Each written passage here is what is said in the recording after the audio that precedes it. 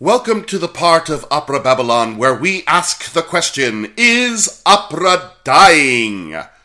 Today, my special guest is internationally renowned director Thaddeus Strassberger, and he is here to discuss with me the myth of opera dying. I will ask him 10 questions, the same 10 questions I will ask every guest, culled from the headlines of the newspapers explaining why opera is dying.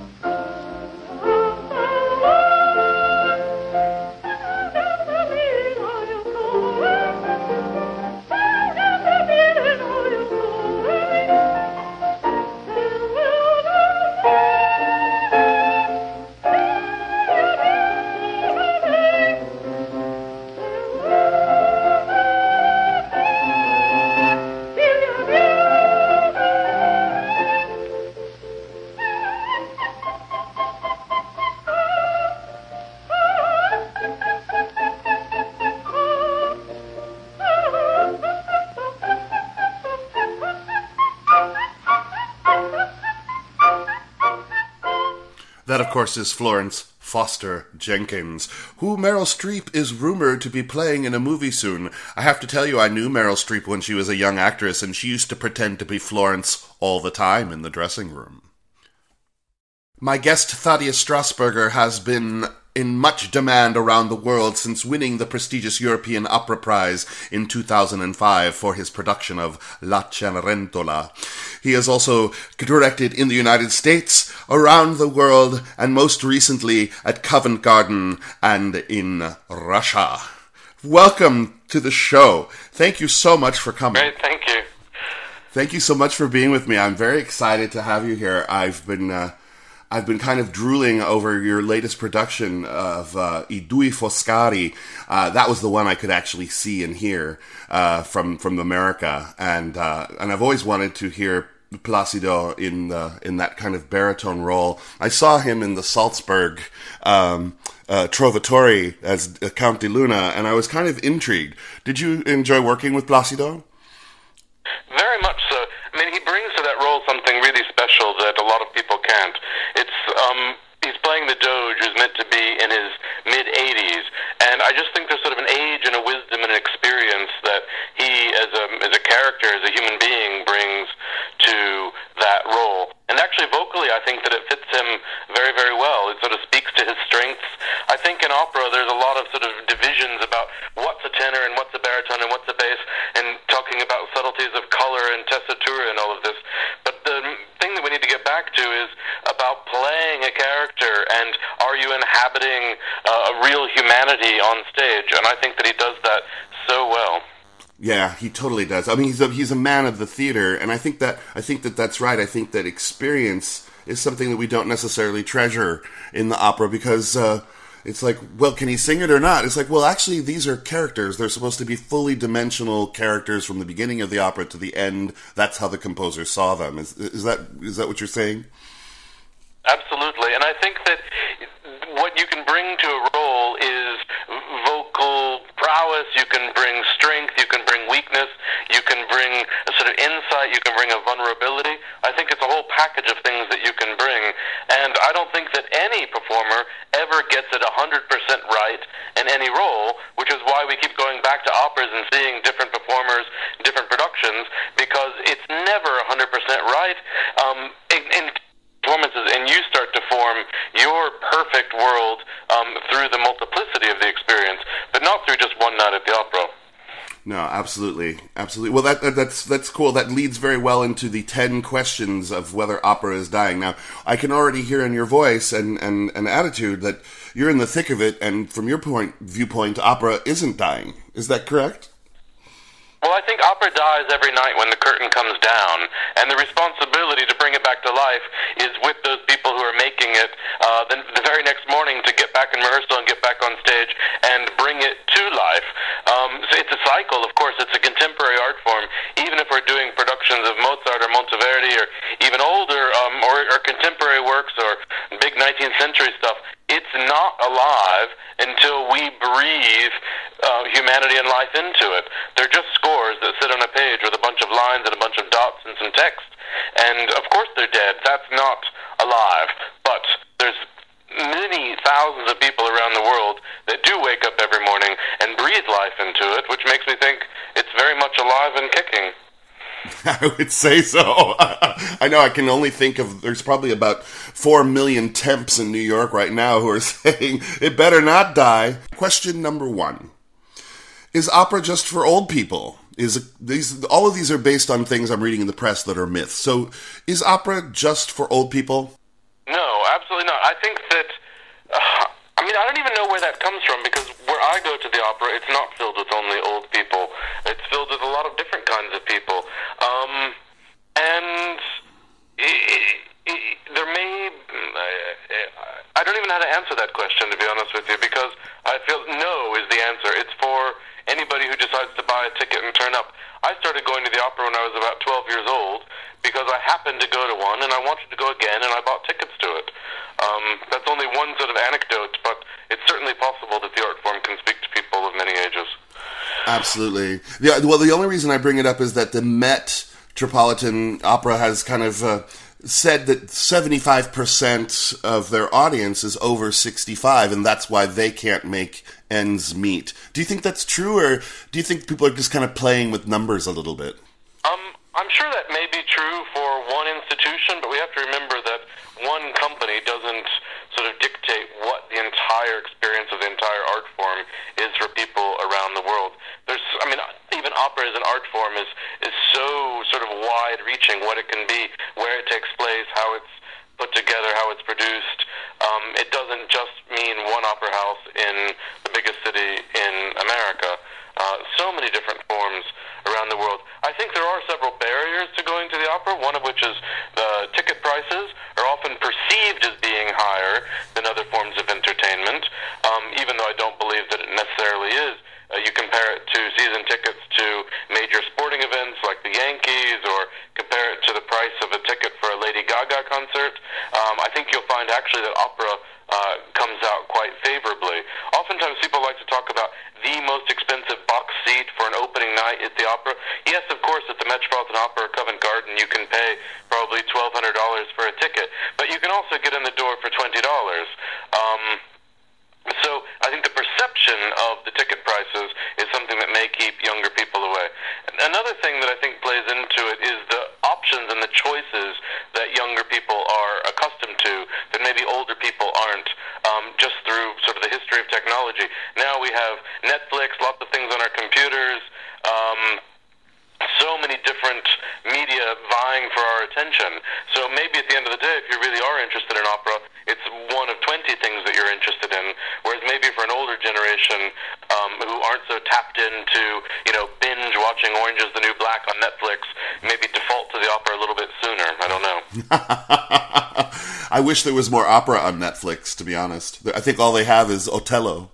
It would be great if there were more opera available. I think there are more and more things available on YouTube and um, you know sort of pirate recordings of what's going on, and it's a way to get a real taste for what's happening um, without the expense of traveling and um, buying tickets all the time.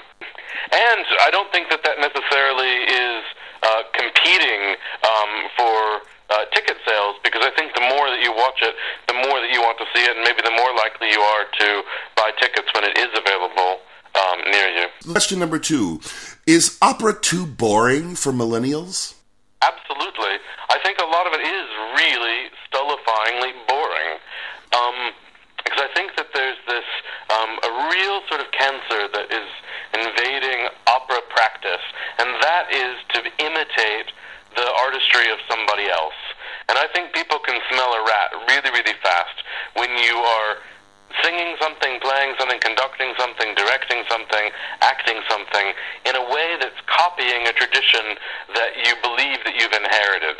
There's a way that you can get, be inspired by performances of the past, the, the same way that maybe Amy Winehouse was inspired by the jazz greats, Ella Fitzgerald, for example. You hear um, bits and pieces, but nobody's just doing a, a sort of cover uh, version um, in the pop world and being huge hugely successful with it. We we sort of value originality and and vulnerability and, and a real kind of insight to humanity. And I think that's lacking in about 90% of the opera performances that are out there. Everybody's trying to sort of play dress up, and um, it, it doesn't sort of reach out and grab you because somehow you know that you're watching a photocopy of a photocopy.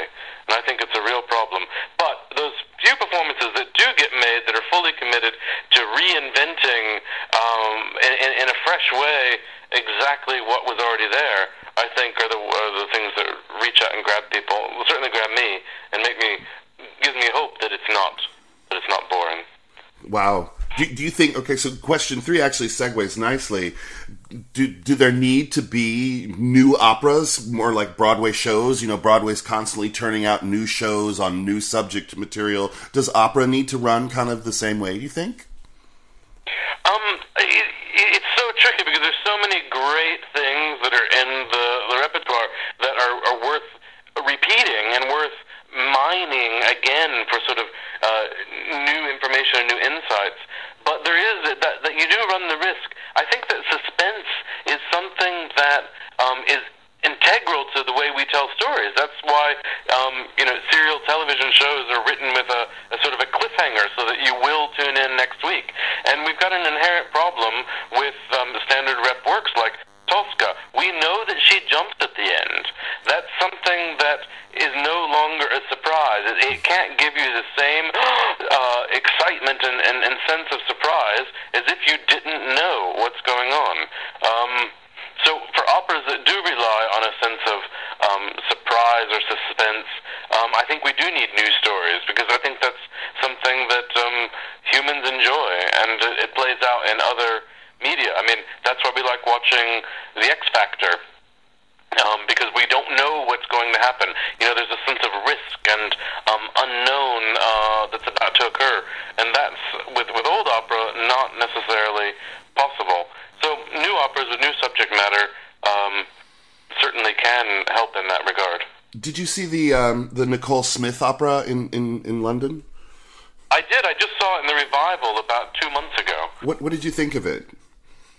I thought it was really interesting. I mean, one thing um, that it has going for it in that regard is that there is no suspense because we know what the story is already, and um, it's interesting to explore something um, kind of vertically in a way. Like we often sort of hear about these things um, in just sort of little snippets about the Anna Nicole Smith story, but to put it together for several hours and to explore um, sort of the themes and its absurdity, um, sort of mocking our own interest in um, these sort of tabloid details of other people's lives. I found it to be um, quite refreshing, actually. Are there good singers anymore? Absolutely. There's phenomenal singers. I hear them every day. I know it's funny to me that people in the press are going around saying, "Well, there just aren't any singers anymore." But I, I see there's them. a lot of factors involved. I think it's um, as we look back through with the lens of history, um, you can sort of cherry pick really amazing, extraordinary um, performances that happen to have been caught either in studio recordings or live recordings that really do sort of stand out as um, truly exciting moments of you know operatic musical theater. Um, but for every um, one of those, there are hundreds of thousands of others that are um, rather ordinary um, in the quest of being extraordinary. I, don't think anybody you know sets out to you put on the stage and say, well, we'll put sort of a mediocre night on stage. Everybody's trying for the best. There's so many factors that um, that go into making uh, a great singer, and I think that there's lots of great singers out there, not all of whom are having a great night every time they they strut about the stage and open their mouth because they're human beings, just like an athlete or any other sort of performer um, sort of has ups and downs. And I think one of the things with opera performers is because it's such an unprocessed, unfiltered experience.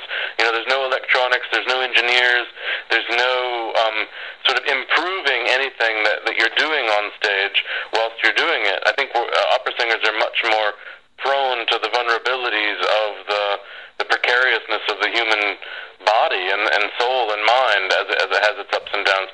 And we get so accustomed to hearing sort of perfect sounds, as it were, perfectly engineered sounds from so many different other media. You're never going to see a bad performance from a truly bad performance from an amazing movie star because all of those bad performances end up on the, the cutting room floor, and you keep reshooting it until you get something that's that's pretty good. Um, so I think the comparison to to other things has not been favorable to opera um, for the very reason that makes opera exciting for its very unfilteredness and, and directness that it brings. And also with um, what do you want from a voice? I mean, these operas were written many, many times for theaters that are much smaller than most American opera houses. And if you're looking for sort of size and volume and sort of sheer um, scale, um, works really well in a 1,200 seat house, but a little bit less well in a 3,500 seat house. Um, so I think it's really sort of unfair to say that uh, the voices. Maybe we should say we don't have the theaters for the voices uh, that we do have. That would, um, you know, be much easier to cast a Trovatore if a regional house in America was a 900 seat house, the way a lot of regional theaters are in in Europe. Wow, that's a huge one. That question. Uh, let's see, we're on number five now is do you think that opera is too expensive or cost prohibitive? Um, you know, again, you know, people in America look to the Met. You know, he spent a lot of money on uh, th- over thirty million dollars on the ring, and it wasn't it wasn't great. It wasn't awful, but it wasn't it wasn't great. You know, the one set piece for you know several almost 18 hours could be a bit much for people. But uh, but do you think that operas just become too expensive to, to, to mount a production? Um, no, I don't think it's too expensive because uh, I mean that's that's a that's actually a really difficult question. I mean, are you, you're asking whether the productions themselves are too expensive, or whether ticket prices are too expensive, or whether the the, the fees and um, salaries are too expensive? What, which part of it are you? Um, this, you know, managing it, managing the production, producing the production from you know from paper to to physical manifestation, building the set pieces and all of that. Do you think that that's become too cost prohibitive? It's it's difficult to see in America because people here feel that money is constantly being wasted on productions and so on and so forth. Well, there are a lot of costs associated with things because they're very specialized skill, and there's no sort of um, automation to it. Every production that you're doing is sort of a unique work of art, and so you can't sort of have a production line, and there's no um, real efficiency. And I think it's a very inefficient way to make things. Being being creative um, is by definition uh, oh, not efficient because you can't sort of replicate it one after another. Um, and the the people that you need to make the things and, and the sets and the costumes and the props and and everything they're very highly specialized um, skills that have to be constantly ready to be used and I think that you, you're never wasting money by spending it on productions for example in that the Prince Igor they talked a lot about you know spending several hundred thousand dollars on making um, some poppies. I think, well, but those were all trained craftspeople that were making things for the opera house and providing livelihoods for those artists to, to survive and to, to live and work in society, uh, creating art. And I don't have any problem with spending the money. I think that less than reining in the costs, maybe we have to figure out how to increase the amount of support that goes uh, to these arts institutions. I mean, a lot of people don't realize how much the taxpayer is supporting uh, the building of new stadiums and with tax breaks to bring in businesses um, around sports events and um, other arena events and even you know big um, pop performers and country western performers their performances end up being subsidized um, by uh, local governments in ways that um, the actual local arts are not supported I think that's something that we should look at well, I think uh, uh, uh, that brings up an interesting thought too. That I was just thinking while you were saying that because it, it, it, made me think. Well, you know, there are a lot of people in the opera company, you know, who manage the opera company, upper upper upper management that don't really have a creative role. They stand more as a figurehead for the opera, the the, the GM and stuff. And some of them make quite excessive salaries that I feel they could put back into their productions instead of maybe making quite so much money. Um, I think that you have to look really carefully at how many performances are actually making it to the stage um, each year, and that's one of the big differences between working in America and working in Europe. Is that um, a mid-sized German opera company may be putting on 450 nights of theater um, in because they'll have uh, more than one venue. Oftentimes, they have a large space, the main the main theater, and then they'll have a smaller space, and then most of them have an even sort of off kind of space, a cabaret space or a smaller comedy theater, and they're putting on that many performances a year. So if you take a look at a general manager's salary and divide it out by the number of performances that you're putting on, you'll find that it's a much smaller number um, in Europe than it is in America. And I think that's what we need to be looking at is what is the value of the money that goes into the company, how much of it is actually ending up on stage. I definitely think that you have to pay people for their expertise in managing resources. That that is something that's required in an opera company, and that you have to pay people um, certain amounts that to have that sort of expertise and devotion to uh, a difficult task. Um, but it's the, the checks and balances on the system are. Um, I think you can find many, many examples where it seems to be out of whack. Um, with the, the larger picture. Another thing, too, that you have to look at in American companies is because the number of performances are so low during the year, um, you have to sort of look at are there other efficiencies? Can things be combined between companies? Do you really need an accounting person uh, to a full-time accountant within your company to manage maybe 15 full-time employees and then seasonal employees, or is that something that maybe could be um, sort of combined or outsourced with other um, local arts organizations that you could team together to sort of pool together some of these administrative tasks, or even with ones in in other cities? We'll have more from Thaddeus Strassberger in a moment, but first I wanted to take a moment and spotlight a new album from a wonderful soprano Maria Luigia Borsi. Here is a track from her recently released Italian soprano arias from Naxos Records, and her voice is divine.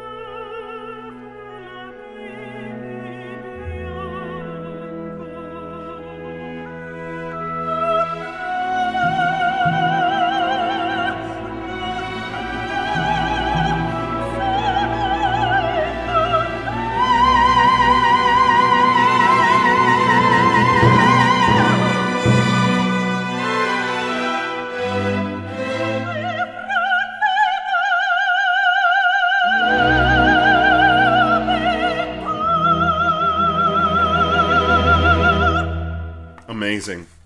That is Maria Luigia Borsi singing Catalani's La Wally aria E ben ne andrò lontana. Next, I'd like to make a little Christmas gift suggestion. If you have an operatically inclined child, they might like this. The conductor cried out. All aboard, all aboard, all aboard,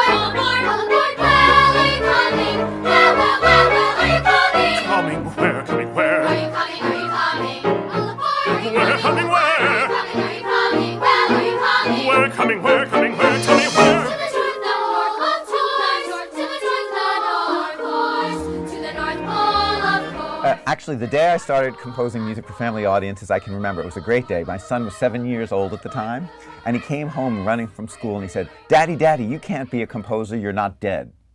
And at that moment, I knew that I had to change that perception. And so I decided I would write some music so that he would realize that actually composers are alive. Faster faster we ran along, rolling over peaks and peaks and valleys, rolling over peaks and peaks over peaks and peaks and through valleys. So, really, almost every book that I ever set to music started as just something that I read to my kids. When I asked, Santa smiled. Then he gave me a hug and told an elf to cut a bell from a reindeer's harness. I mean, the fact that Nathan Gunn was willing to do this, you know, to take a book like Polar Express and bring it to life, is so fantastic.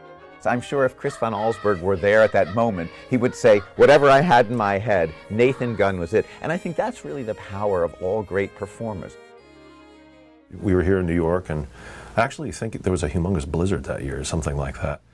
And I'd gotten a number of these uh, children's stories to read to Madeline. She was little, and that was the uh, the Polar Express was one of them. I thought that so much music for kids sort of looks down at kids and writes really simple music as if all they can really handle is that. And one of the things I love about writing music for kids is particularly when I do those concerts live, for the first time they get a sense, well, there could be a piece by Mozart on the concert, but there's also a piece by Rob.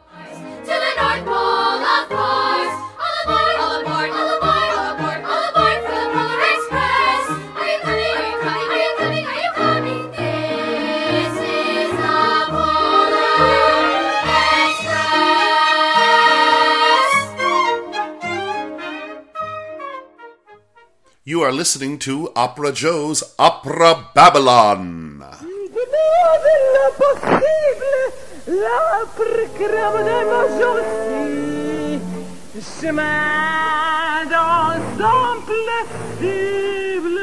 Next time on Opera Babylon, Operatic Disasters.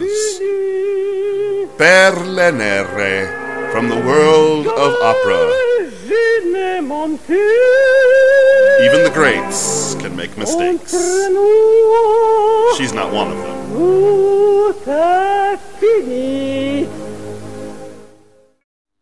You inspired some thoughts in me because I was realizing that, you know, a lot of people, you know, we have some houses that have full repertoire, like San Francisco, Chicago, and the Met, uh, and and and even Seattle. Um, but you know, Seattle being the less performances of, of of that big group. But most opera companies, you're right, it's they're doing maybe two operas a year, maybe three.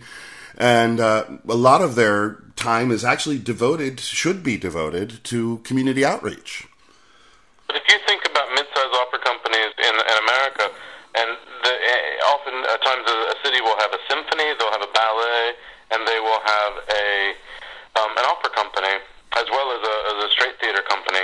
And you think, well, in, a, in the German system, all of those things are combined. So if you could have one development director that was um, attracting um, m- money from from donors and, and sponsors into the big umbrella arts organization, maybe that would be enough instead of each of these four companies having independent staffs doing all of those things separately, and in a way, sort of being in competition with each other. Well, I've already given money to the ballet, so I have less money to give to the opera, as opposed to giving to just sort of a thriving arts uh, organization that that combines all of them. Yeah, no, well, it's you know Seattle tried to do that. Uh, they still do it. They have a council and they have the you know the, this Beethoven fund that was given to them, um, and uh, but they don't you know they don't play well always together, and they're always fighting to to get their separate kingdoms a little bit. Uh, so uh, Interesting that America often plays this even in other political realms, as in uh, you know with healthcare and with military and with human rights and gay rights and and everything. That like somehow things in America are just different. But why is it that the system of combining symphony, ballet, theater, and opera works really, really well in other highly developed nations like in Germany and in France and in Russia and in Norway and in Sweden, and you know it, the, the list goes down the line. How are these places able to have functioning gun control laws, functioning socialized healthcare, and functioning combined um, performing arts organizations? But in America, somehow, it's just that the opera and the, the ballet are very different, and they can never get along. So we need to hire two administrative assistants, two box office people, two production managers, two events coordinators, two company managers. I mean, the list just goes down the line. It's Yeah. ridiculous. No, it it, it, it, it it does get ridiculous. Uh, even even when they're all housed in the same theater, they're still all pulling administrative staffs, and it it actually gets really confusing. and it's not in their best interest, you know. Um, well, let, let's let's move on to the next question. Question number six: Is opera for the whole family? Can you take? Can you just put the kids, you know, into the SUV and head on down to the opera house? Mm, I think it's really hard to generalize about what opera is. There's so many different things that it can be.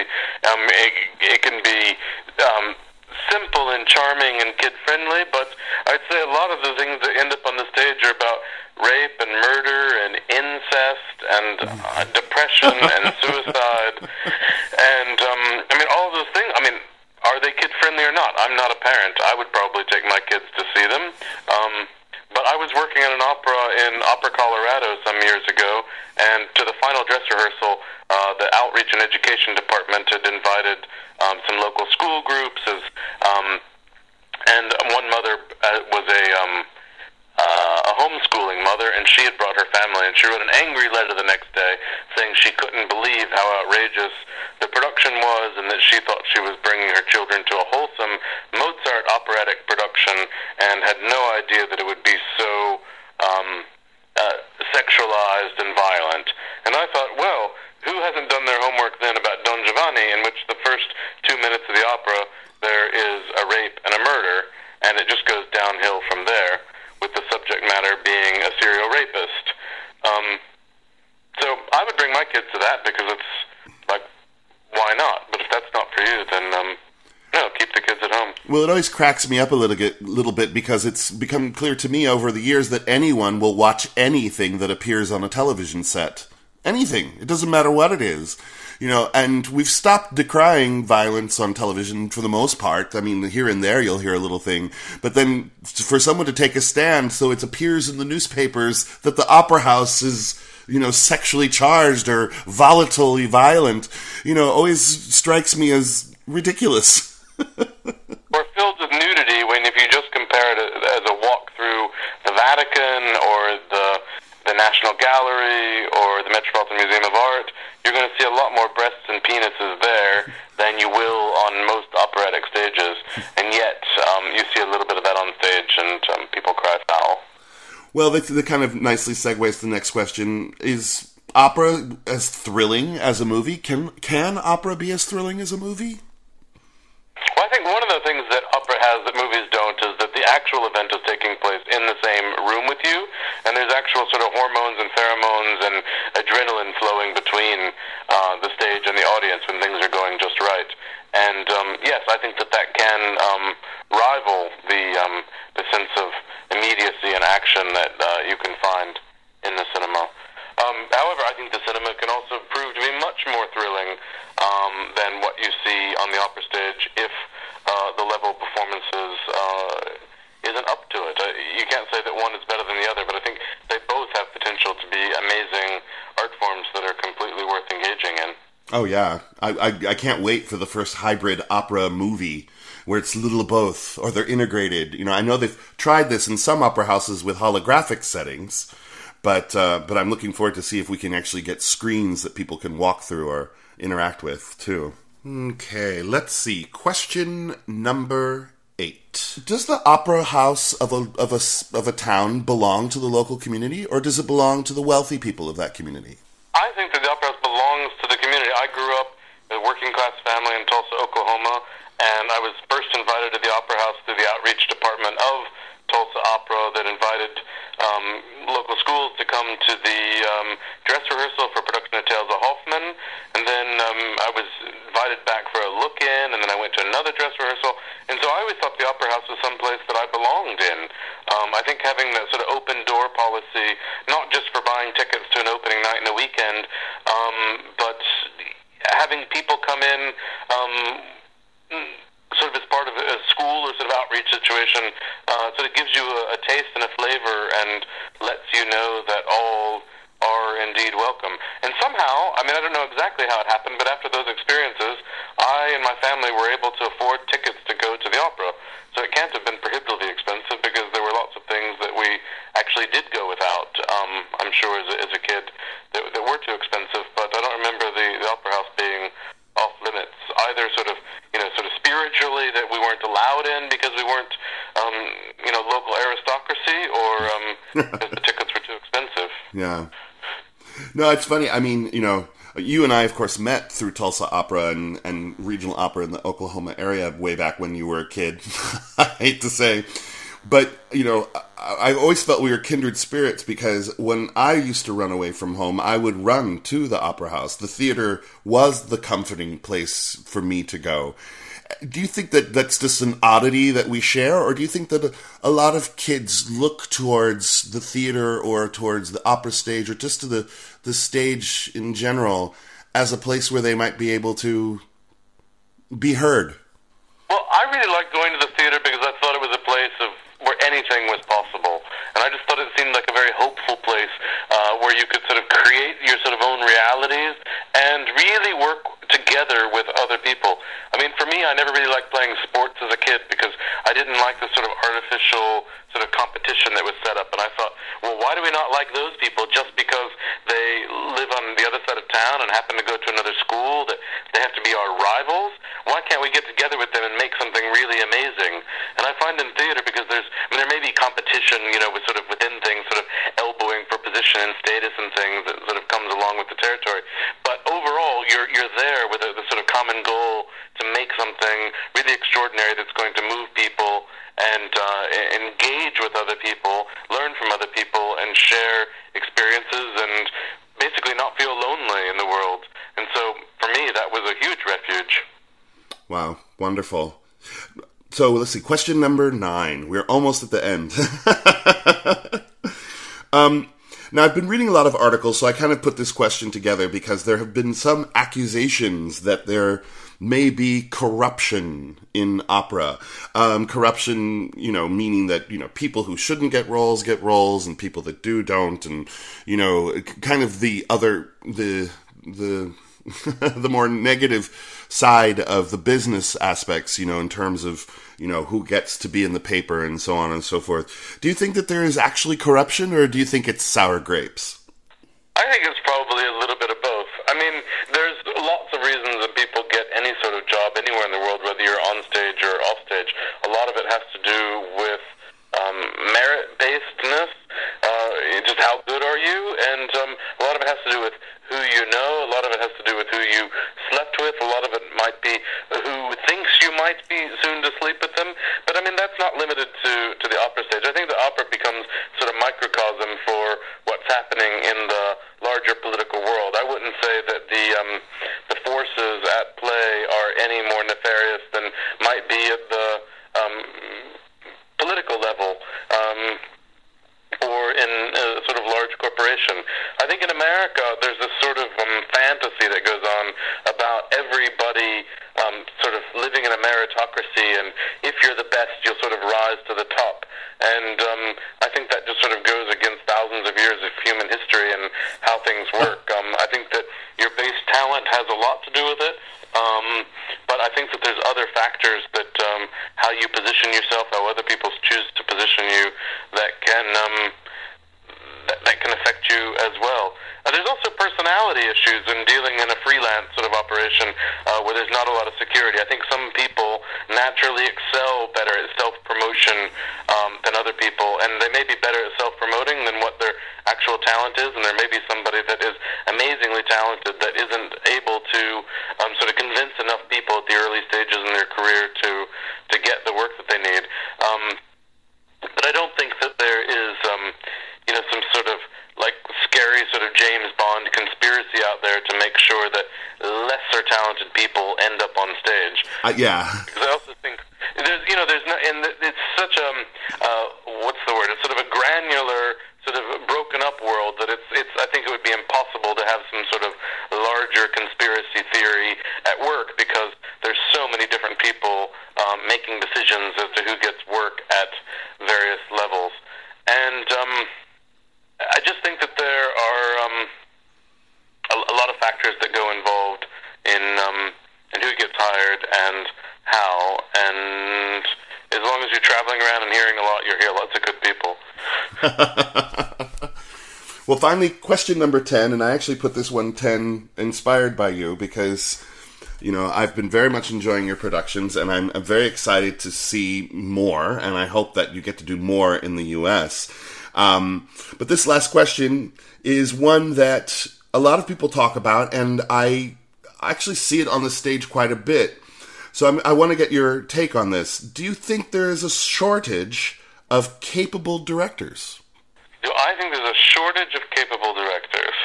Really difficult question because I think that the art of directing, the craft of directing, and your appreciation of it is so incredibly subjective because it has to do with, um, as an audience member, is how you perceive of the piece in your mind, in your heart. Like, what do you think it's about? And do you think a good director is somebody who's bringing to life the already have in mind? And are, and are they sort of faithfully recreating, you know, your inner imaginary world?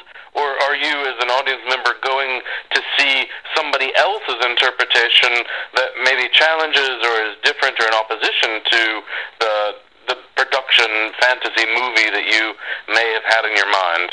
Um, so there may very well be a shortage of directors who are able to uh, custom create um, individual productions for every single member of the audience that may come to the stage. Uh, but I don't think that there's a shortage of directors who are able to um, closely read the libretti and the, the musical treatments of, of the operas and bring them to life in really fascinating, interesting ways. I think maybe there's more of a shortage of um, impresarios and theater managers that are willing to fully um, support directors' visions to get them to stage unaltered. I would say probably the types of productions, the sort of Eurotrash or sort of hyper regie theater productions that um, get seen by many, many people are actually sort of diluted or corrupted versions of what the creative team was initially proposing. Um, and they end up sort of being um, sort of ill-conceived or, or half-hearted through this sort of hijacking process that can take place throughout the um, the, the production development period. That's not so much the case maybe for more um, in, uh, sort avant-garde theaters in, uh, in in Germany. Um, I think those things are well supported and seen through to the end. But if you're looking at the larger things at the the Metropolitan Opera or San Francisco um, or Chicago, oftentimes what uh, what you get on stage in the end um, isn't uh, fully the vision of the director, even the conductor, as the, the production was conceived. Because maybe there's not enough rehearsal time. Maybe you have a fantastic idea that requires a lot of rehearsal time, but the cast that the theater has chosen to engage isn't there for enough rehearsal to fully engage in it.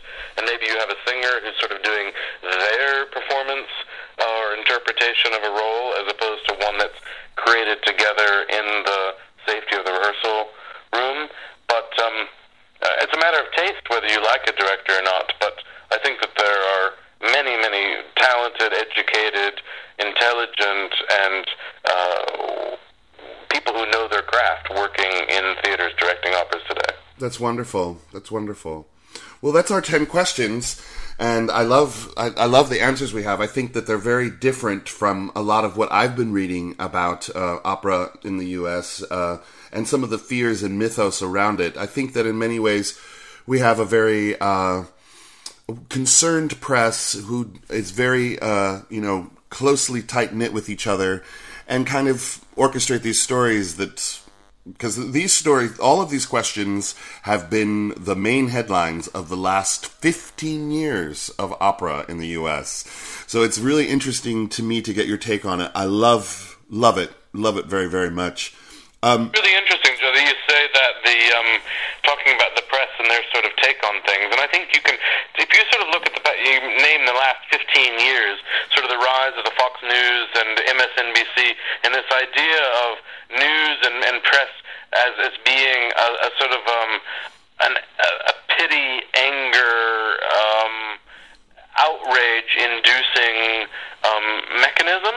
I think that the classical music press is very much a part of that. That they're not just reporting what's actually happening on the opera stages, but that they are um, sort of fomenting this atmosphere of negativity that I think doesn't actually exist.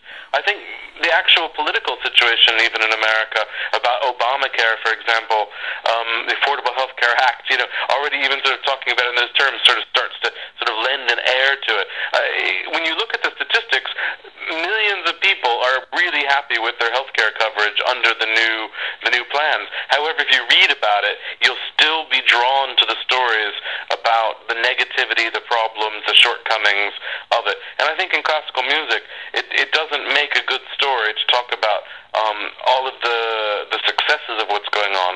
Um, but I think that people have found out that being kind of snarky and um, nasty and um, sort of playing into this idea of class warfare um, and uh, elitism and things. These are these are subjects that people are drawn to for various reasons, dealing with the, the economy and um, sort of uh, social anxieties.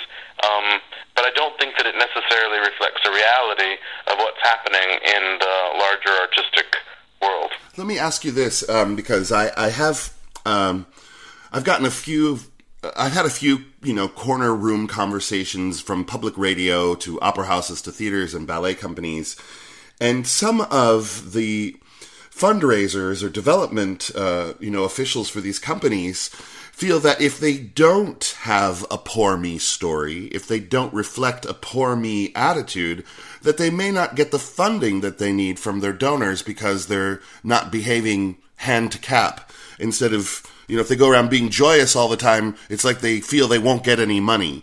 Uh, do you think that that might play into some of that phenomenon as well?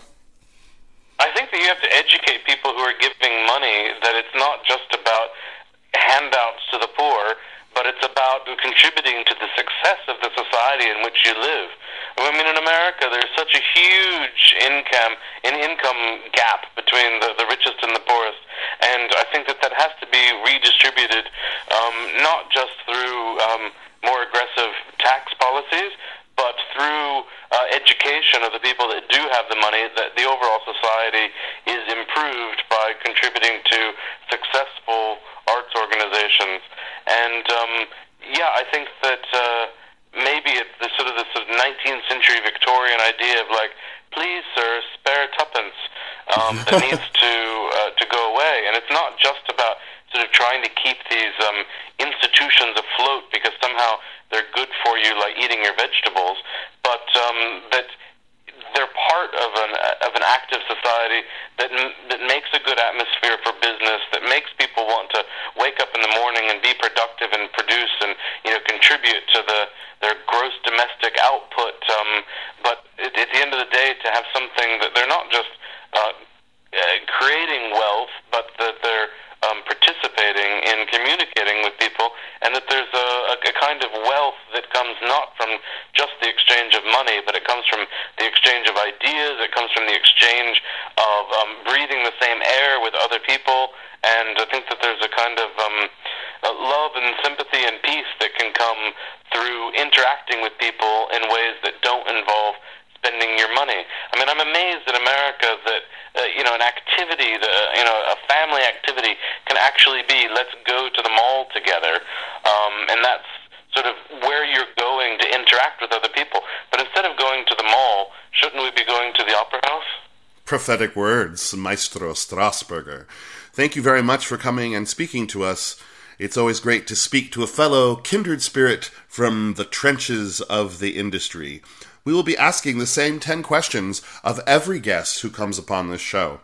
And if you disagree or have different opinions, I want to hear about them. So please either message me at Facebook or Twitter me at opera underscore Joe J0E. Someone else has my true name out there. No names will be mentioned.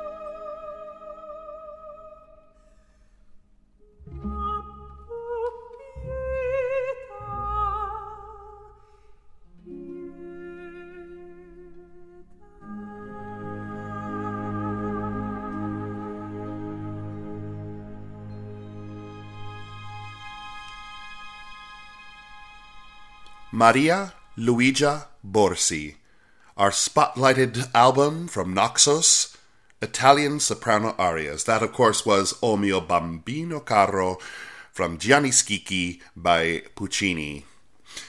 This next piece is a tribute to a well, really the end of an era at the Metropolitan Opera. They are going to retire the Otto Schenk production of Die Meistersinger von Nuremberg and its beautiful 40 year history. Also, James Morris, probably one of the leading Hans Sachs of our age, after Giorgio Tozzi, is probably going to never sing this role again. So here I have the aha moment from Die Meistersinger von Nuremberg, Selig wie die Sonne.